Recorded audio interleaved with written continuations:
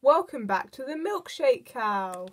Today we're going to be opening this My Little Pony blind bag.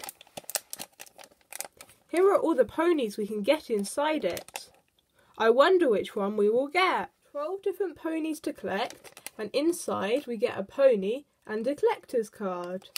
So let's open it up.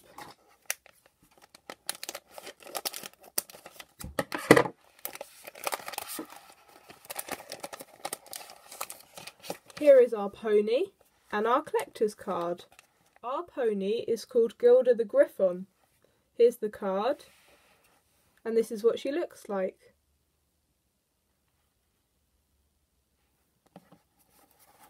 Here are all the other ponies we can collect.